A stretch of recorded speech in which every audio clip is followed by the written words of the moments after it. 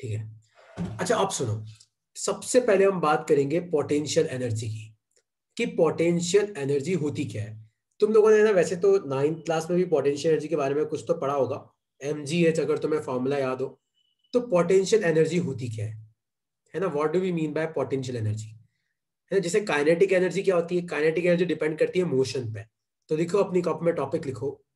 Potential energy potential energy depend करती है depends on position of body depends on position of body ये किस पर डिपेंड करती है? कि आपकी बॉडी की पोजीशन क्या है? ये भी क्या है? ये भी एक स्केलर क्वांटिटी है। इसकी ऐसा यूनिट क्या होती है? इसकी ऐसा यूनिट होती है जूल जिसको डिनोट करते हैं हम जे से। और पोटेंशियल एनर्जी को जनरली हम यू से डिनोट करते हैं। किससे? यू से। तो पोटेंशियल एनर्जी क्या है? It depends on position of body याद है, अगर मान लो कि ये ज़मीन है और एच इक्वल टू ज़ीरो तो ज़मीन से एच हाइट पे अगर कोई मास है तो तुम्हें नाइन्थ क्लास से याद है इसकी पोटेंशियल एनर्जी क्या होती है? एम जी एच तो ध्यान से देखो यू किस पे डिपेंड कर रहा है? एच पे। मतलब आपकी बॉडी की क्या हाइट है? तो पोटेंशियल एनर्जी किस पे डिपेंड करती है? Depends on position of body scalar quantity है और इसकी ऐसा यूनिट क्या होती है? इसकी ऐसा यूनिट होती है जूल लिख लो इसको अपनी कॉपी में. इसकी ऐसा यूनिट क्या होती है? जूल लिख लो. तो potential energy depends on position of body it is a scalar quantity and its SI unit is what its SI unit is joule लिख लो इसको.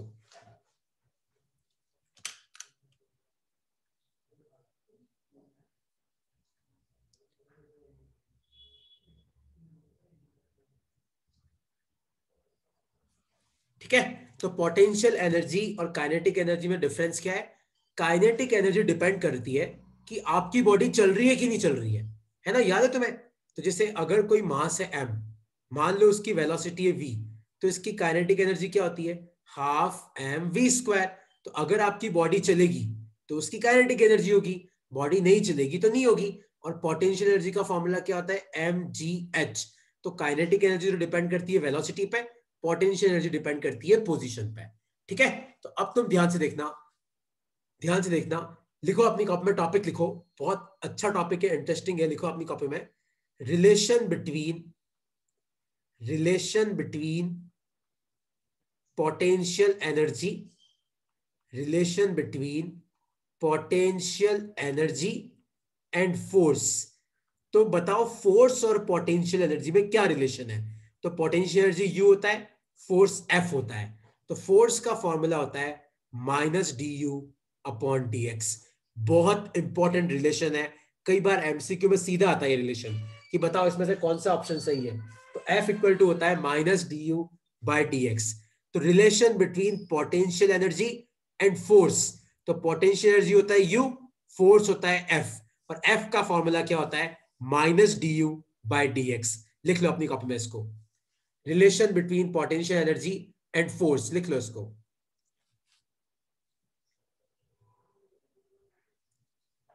ठीक है? तो पोटेंशियल एनर्जी और फोर्स में क्या रिलेशन है? एफ़ इक्वल टू होता है minus D U upon D X F क्या होता है? Minus D U upon D X तो जैसे मान लो मैं तुम्हें एक क्वेश्चन पूछूँ, एक क्वेश्चन पूछूँ कि if potential energy X cube है if U equal to X cube find force at find force at X equal to one metre तो बताओ कि x equal to one metre पे कितना फोर्स लग रहा है? तो देखो कैसे करेंगे। F क्या होता है? F का फॉर्मूला है minus D U upon D X तो अगर तुम भूल गए हो तो मैं तुम्हें याद दिला दूँ। माइनस की जगह माइनस लिखो और आपको u का डिफ्रेंशिएशन करना है। तो u का डिफ्रेंशिएशन कैसे करेंगे देखो। जो पावर है उसको आगे बुला लो और पावर में से एक घटा दो। तो ये कितना आ जाएगा? Minus three X square. और फिर एक्स की वैल्यू वन पुट करो तो माइनस थ्री इंटू वन का स्क्वायर तो ये कितना आ जाएगा? Minus three newton. है ना? तो इस तरीके से हम लोग क्या निकालते हैं? अगर आपको पोटेंशियल एनर्जी दे रखी है तो आप क्या निकाल सकते हो? फोर्स निकाल सकते हो। आपको करना क्या है? आप यू को डिफ्रेंशिएट करो, आपको एफ़ मिल जाएगा। लिख लो इसको अपनी कॉपी में। relation between potential energy and force.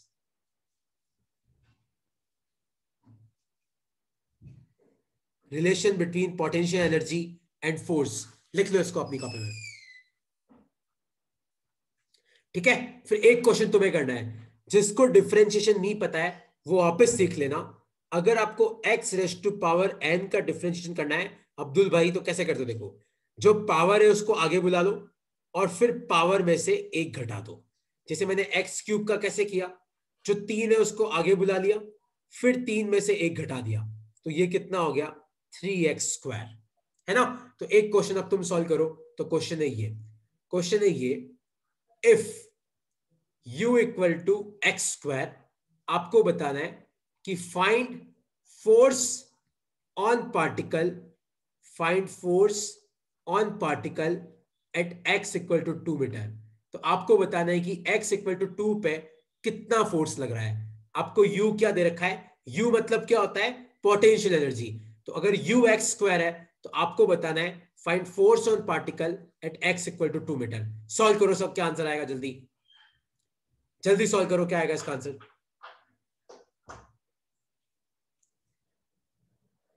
F क्या होता है? Minus D U upon D X ठीक है? U आपको एक्स स्क्वायर दे रखा है तो कैसे डिफ्रेंशिएट करेंगे? जो पावर है उसको देखो माइनस को मत छेड़ो।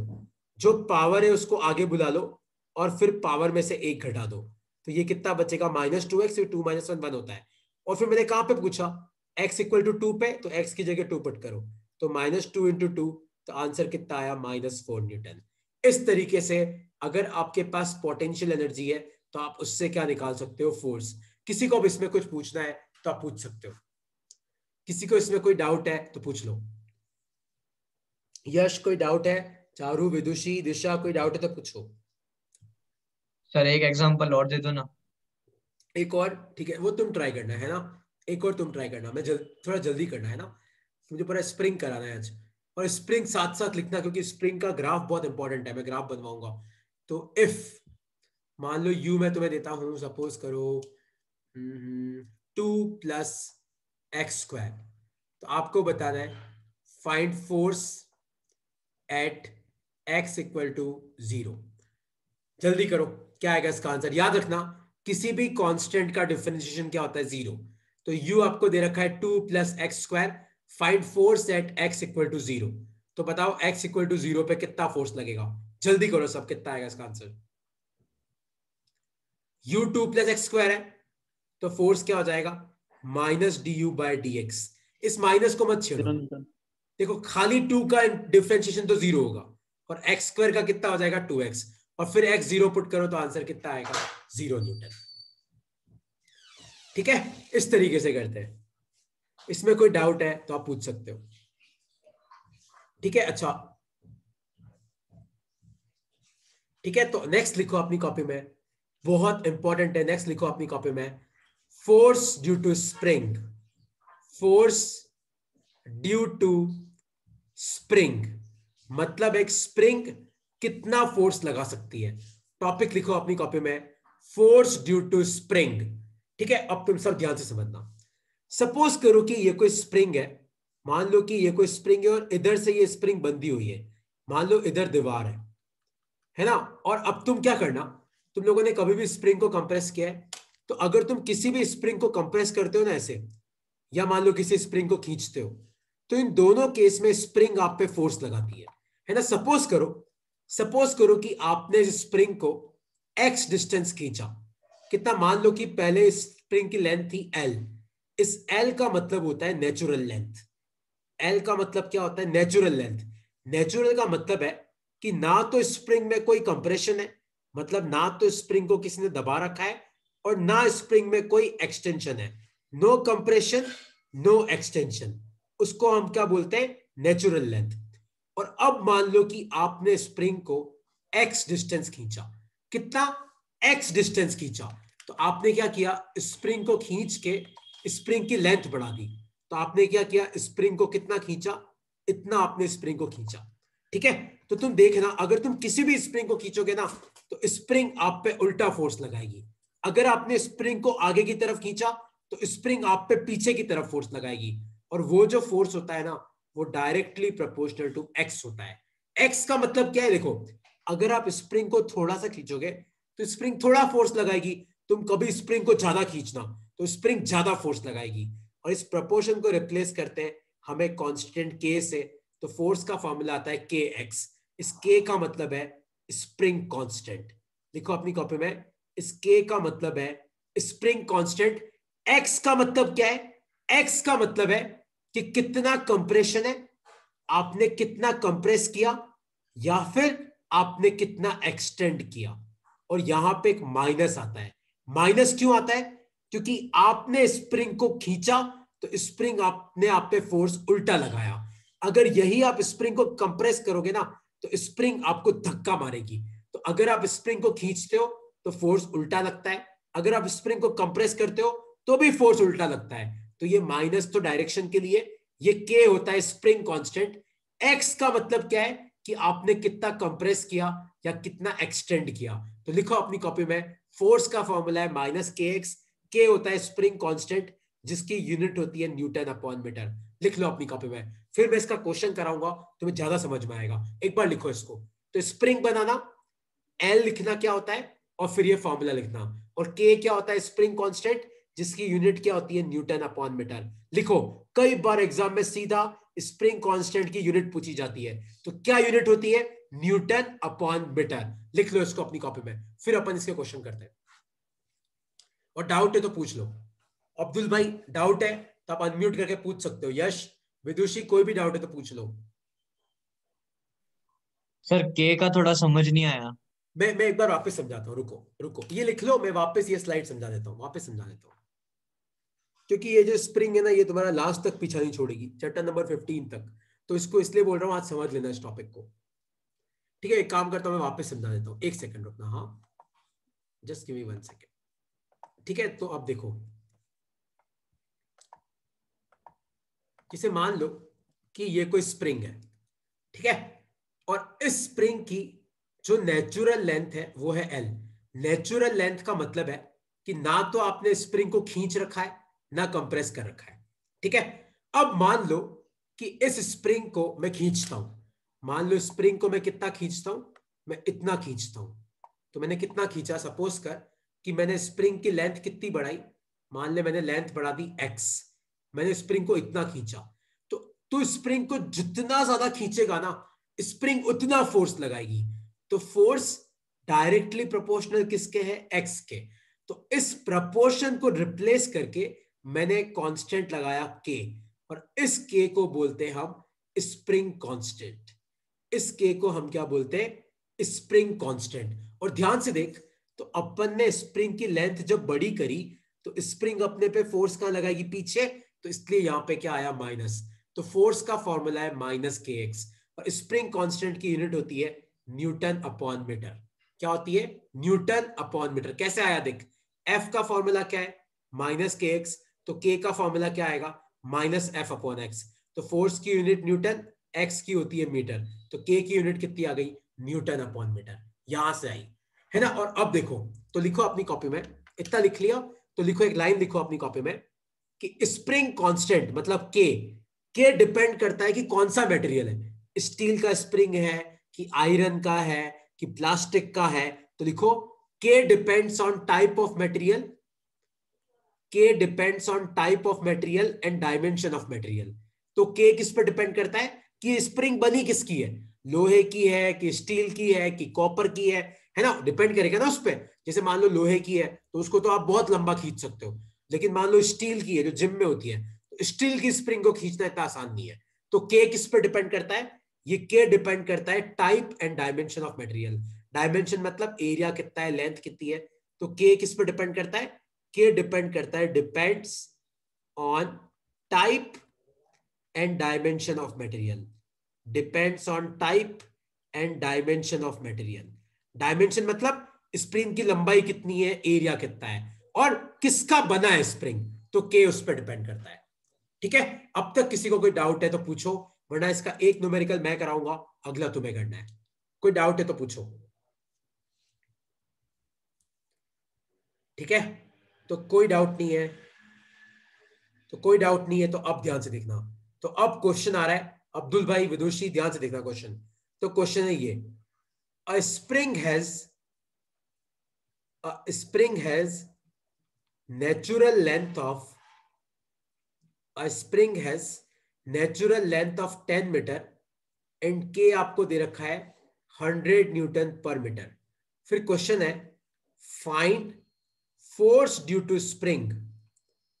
Find force due to spring if its length if its length is increased to if its length is increased to 25 metre. तो क्वेश्चन में दे रखा है कि आपके पास एक स्प्रिंग है जिसकी नेचुरल लेंथ कितनी है? 10 मीटर। ठीक है? और के कितना दे रखा है? 100 न्यूटन पर मीटर। फिर क्वेश्चन है कि बताओ कि ये स्प्रिंग कितना फोर्स लगाएगी? अगर if its length is increase to 25 metre अगर मैंने इसकी लंबाई को बढ़ा के कितना कर दिया? अगर मान लो मैंने इसकी लंबाई को बढ़ा के कर दिया 25 मीटर तो देखो फोर्स का फॉर्मूला तो अपने को पता है। माइनस के एक्स और माइनस की जगह माइनस के की जगह पुट कर लेना 100 अब एक्स क्या लेंगे? अब सुनना। एक्स का मतलब होता है कि आपने स्प्रिंग को कितना खींचा या कितना कंप्रेस किया। तो आप मुझे बताओ, पहले 10 थी, बाद में 25 हो गई तो आपने स्प्रिंग को कितना खींचा? 15 मीटर? तो x की जगह क्या आएगा 15 तो आंसर कितना आएगा? माइनस पंद्रह सौ न्यूटन। तुम्हें समझ में आया कि नहीं समझ में आया कि ये कैसे आया? क्योंकि मेरा मेन एम ये था कि तुम्हें ये बताऊँ कि एक्स क्या होता है। तो एक्स का क्या मतलब है कि आपने स्प्रिंग को कितना खींचा या कितना कंप्रेस किया। तो इस क्वेश्चन में पहले स्प्रिंग कितनी की थी? 10 मीटर लंबी थी। बाद में कितनी लंबी कर दी? 25 तो मतलब आपने कितना खींचा होगा? पंद्रह। तो एक्स की जगह आएगा पंद्रह। अब इसमें कोई डाउट है तो पूछो, वरना अगला क्वेश्चन तुम्हें करना है। दिशा, कोई डाउट है? विदुषी अब्दुल भाई यश भाई कोई डाउट है तो पूछो।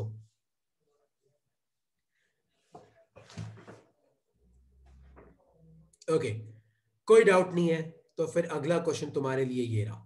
देखो डाउट है तो पूछ लो। मैं अभी भी बोल रहा हूँ एक्स का मतलब होता है कि आपने स्प्रिंग को कितना खींचा या कितना कंप्रेस किया।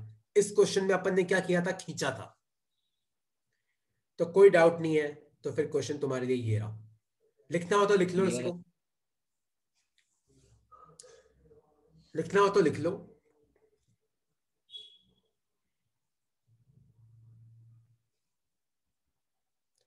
ओके, ठीक है?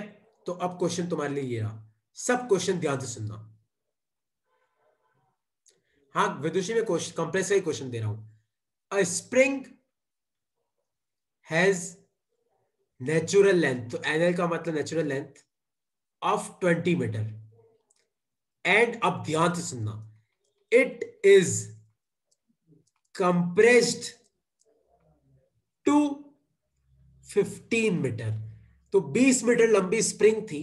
मैंने कितना कंप्रेस करें, कितना कर दिया? 15 metre if K is 10 newton per metre find force due to spring find force due to spring तो आपको बताना है कि स्प्रिंग के कारण कितना फोर्स लगेगा।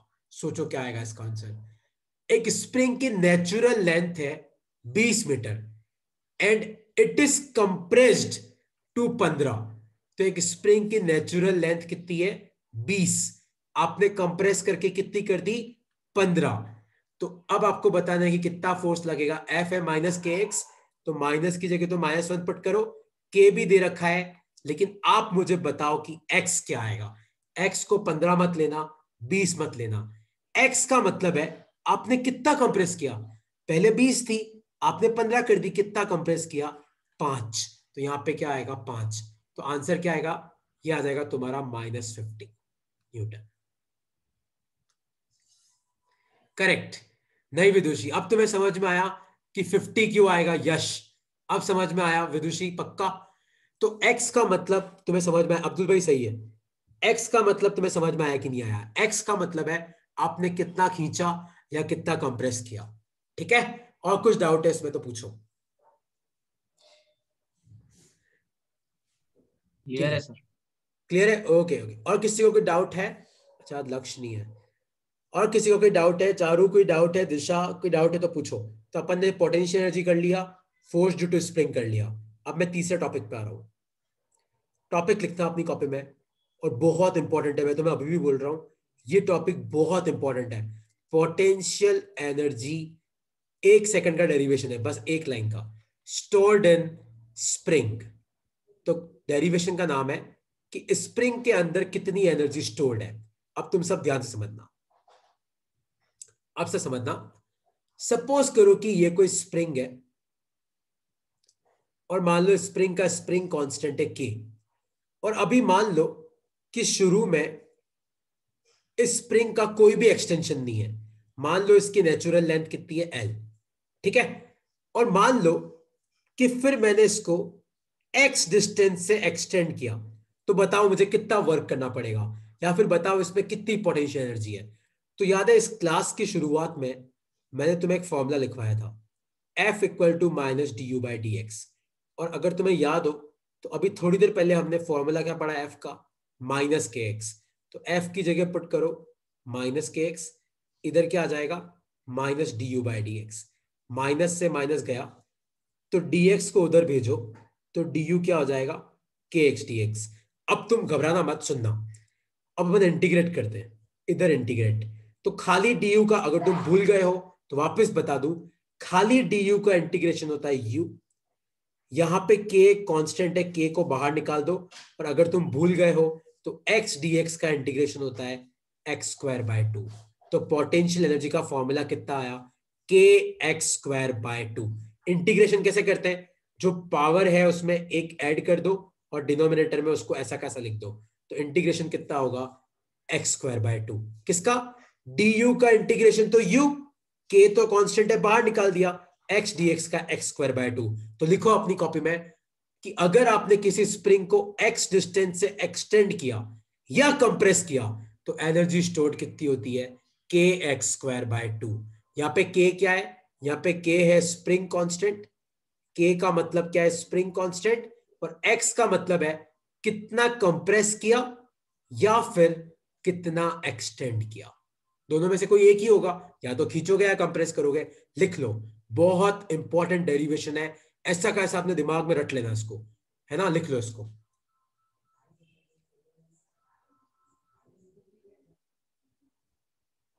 ठीक है, फिर अपन एक न्यूमेरिकल करते हैं। वो न्यूमेरिकल तुम ही करना। के तुम्हें पता है क्या होता है एक्स तुम्हें पता है क्या है।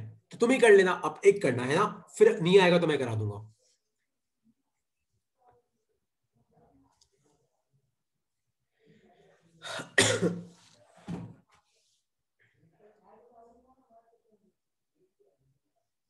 ठीक है तो एक क्वेश्चन तुम्हारे लिए। प्लीज़ यार, सब सही करना।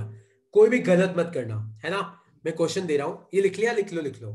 मुझे पता है मैं थोड़ा सा तेज तेज कराता हूँ बट थिंग इज़ की एक्चुअली मेरे पास एक घंटा नहीं होता ना चालीस पैंतालीस मिनट ही होते हैं। तो मैं ये चाहता हूँ कि तुम जल्दी जल्दी और नहीं भी लिख पाओ तो मैं तुम्हें नोट्स भेज देता हूँ। तो तुम बाद में लिख लिया करो, है ना? एक घंटा बोलना तो बहुत भारी होता है यार, मेरा गला ही खत्म हो जाएगा। ओके अब मैं क्वेश्चन दे रहा हूँ। मैं एज्यूम कर रहा हूँ तुमने लिख लिया, और नी भी लिखा हो तो ये फॉर्मूला रख लो के एक्स स्क्वायर बाय टू फिर इसका ग्राफ बनाना मत भूलना, है ना? तो क्वेश्चन क्या है? ध्यान से देखो। A spring of K equal to five newton per metre has natural length of ten metre if सुनना if length is increased to 20 meter find force and potential energy करो सब ट्राई करो। करो सर ट्राई करो। क्या आएगा इसका answer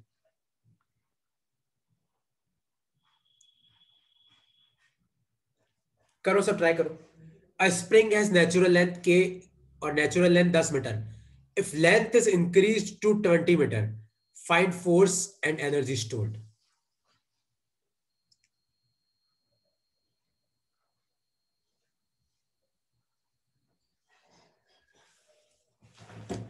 stored. आगे सबका कि नहीं आया तो एक स्प्रिंग है, जिसकी नेचुरल लेंथ 10 मीटर है। आपने इसकी लेंथ को इंक्रीज करके कितना कर दिया? 20 मीटर। सोचो तो आप मुझे बताओ कि x कितना होगा? एक्स होगा दस मीटर। होगा कि नहीं होगा? पहले दस था, आपने खींच के बीस कर दिया तो आपने कितना खींचा? दस। तो फोर्स तो आसानी से आ जाएगा। माइनस के एक्स तो माइनस फाइव और ये कितना आ जाएगा? Minus fifty newton. Energy store कितना आ जाएगा? के एक्स स्क्वायर बाय टू तो के कितना है? पाँच। एक्स मतलब दस का स्क्वायर बाय टू तो कितना आ जाएगा? हंड्रेड टुट्टी आ जाएगा two fifty joule. Two fifty joule आएगा इसका आंसर। और किसी को यश, कोई डाउट है, चारू और दिशा, तुम लगता है क्लास में से सुनते हो। करा भी करो, सीख जाओगे करोगे साथ साथ तो। पूछो, ये इसके आंसर से ठीक है, अब एक दो चीज़ें हैं, बस दो तीन चीज़ें हैं, फिर मैं खत्म करूँगा, क्योंकि नेक्स्ट टॉपिक कराने का टाइम नहीं बचा इतना। अब दो मिनट सुन लेना, है ना? वो चीज़ें इंपॉर्टेंट है इसलिए। पहला तो ग्राफ सबसे पहला तुम ग्राफ बना लो। इसमें कोई डाउट है तो पूछ लो। इसमें कोई डाउट है तो पूछ लो, वरना फिर ग्राफ बना के दो इंपॉर्टेंट चीज़ें बता के फिर मैं क्लास खत्म करूँगा। ठीक है? तो अब तुम सुनना। सबसे पहले ग्राफ कहाँ से आया सबसे पहले ग्राफ बना लो। तो पहला ग्राफ है, बना लो इसको, है ना? पहला ग्राफ है फोर्स का और एक्स का। और ये ग्राफ कैसा होगा दिखने में? ऐसा होगा, देखो। इस तरीके से होगा। बना लो इसको।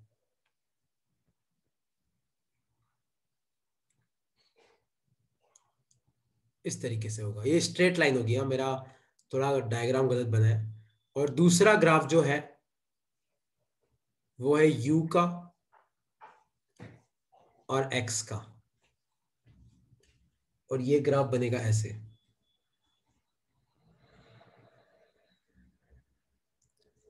इस तरीके से। तो फोर्स वर्सेस एक्स ग्राफ है, और ये यू वर्सेस एक्स ग्राफ है। ये गलती मत कर देना एग्ज़ाम में, है ना? दोनों और याद रखना, वो कंफ्यूज करते हैं कि इस ग्राफ को ऐसा भी बनाते वो, और इस ग्राफ को ऐसा भी बनाते, तुम याद रखना कौन सा वाला बनाना है तुम्हें, ठीक है? ये वाला ग्राफ और इसका स्लोप अगर तुम्हें पूछे तो स्लोप बोलना माइनस के होता है, ठीक है? लिख लो इन दोनों ग्राफ को। ये याद रखना है बस ये याद रखना है तुम्हें, है ना? तो ये दोनों ग्राफ याद रखना और ये स्ट्रेट लाइन है ना, यार इसको स्ट्रेट बना देना। एकदम स्ट्रेट लाइन है।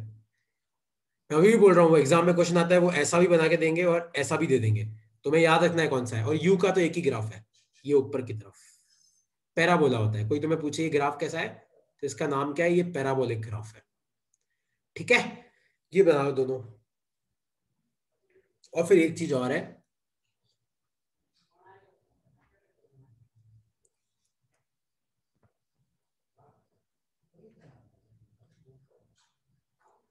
ठीक है? तो अगर ये बना लिया हो तो आप ये क्वेश्चन ध्यान से देखना। क्वेश्चन के एक चीज़ ध्यान से देखना। ये जो एक्स आप लेते हो ना, ये हमेशा मीटर में लेना।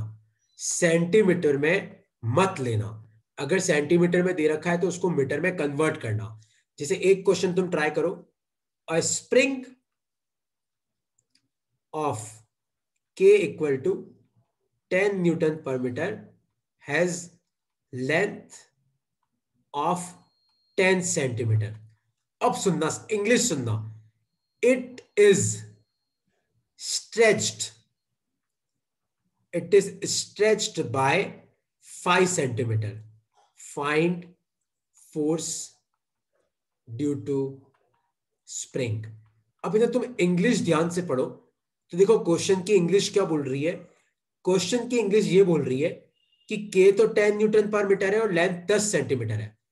It is stretched by five centimetre मतलब इंग्लिश ये बोल रही कि कितना स्ट्रेच किया पाँच तो क्वेश्चन में आपको एक्स पहले से ही दे रखा है, पाँच सेंटीमीटर लेकिन क्या करना सेंटीमीटर में मत लेना, इसको किसमें कन्वर्ट करना? हंड मीटर में कन्वर्ट करना और फोर्स कितना हो जाएगा?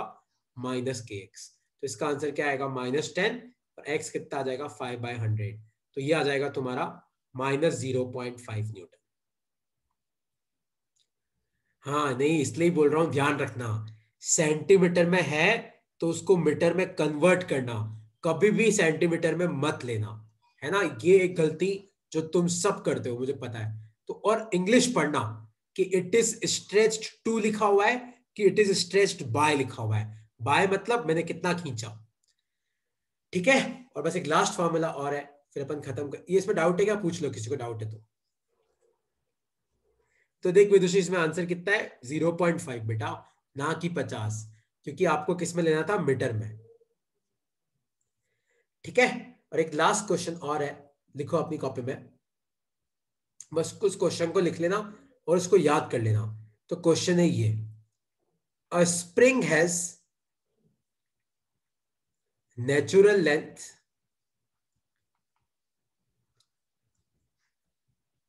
L and spring constant K मतलब एक स्प्रिंग है, उसकी नेचुरल लेंथ कितनी है एल और स्प्रिंग कांस्टेंट है अब सुनना। तो क्वेश्चन में ये रखा है it is first stretched by X I मतलब पहले आपने कितना स्ट्रेच किया उसको X I and then again, फिर से, again stretched by X F तो पहले देखो तो एक स्प्रिंग है, जिसकी लेंथ है एल तो पहले आपने उसको कितना स्ट्रेच किया? पहले आपने उसको स्ट्रेच किया एक्स आई और बाद में क्या किया? बाद में आपने उसको और स्ट्रेच किया। कितना स्ट्रेच किया? एक्स एफ़ तो क्वेश्चन है फाइंड फाइनल एनर्जी स्टोर्ड तो क्वेश्चन है कि आपको बताना है कि फाइनली उसमें कितनी एनर्जी स्टोर्ड है। तो देखो यू क्या होता है? हाफ़ के एक्स स्क्वायर आप मुझे बताओ, पहले आपने उसको इतना स्ट्रेच किया, फिर आपने उसको इतना और स्ट्रेच किया तो आपने टोटल उसको कितना स्ट्रेच कर रखा है? X I plus X F तो एनर्जी कितना आएगा? Half K X I plus X F का होल स्क्वायर बस ये याद रखना। और कोई डाउट है, अब तक तो पूछो।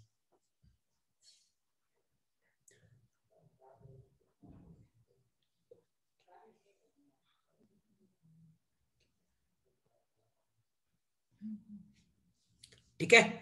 ये लिख लो और आज जो पढ़ाया उसमें किसी को कोई डाउट है तो पूछो।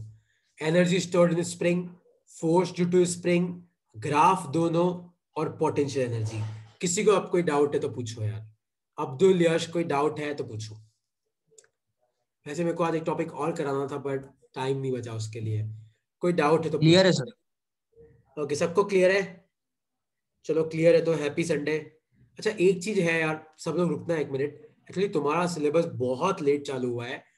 तो है ना, तुम लोग मुझे मैसेज कर देना पर्सनली कि तुम्हारे स्कूल में कितना हो गया सिलेबस कहाँ पे चल रहा है है ना? और अगर तुम आगे का पहले करना चाहो, मान लो इलेवन ट्वेल्व थर्टीन किसी और टाइम पे, इस क्लास के अलावा तो वो पहले कर लो ताकि तुम्हारा सिलेबस हो जाएगा। तो तुम मुझे सिर्फ़ सब ऐसे में सब व्हाट्सएप पे मैसेज कर देना एक बार कि तुम्हारा कितना चल रहा है, क्या आ रहा है, मुझे कुछ पता ही नहीं है। है ना? एक बार मुझे बता देना सब लोग। ठीक है? चलो बाय बाय यार टाटा।